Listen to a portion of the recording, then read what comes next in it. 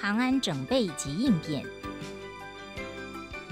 船舶之建造需经造船技师等专业人员设计或签证，并由合格造船厂新建后，再经航政机关检查通过，使能取得航行执照，且每年需接受定期检查，通过后是准予航行。交通部每年载客船舶航行安全督导检查小组，针对各航线进行不定期抽查，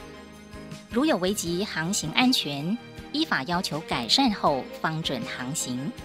超载是船舶引起意外事故的主要原因之一。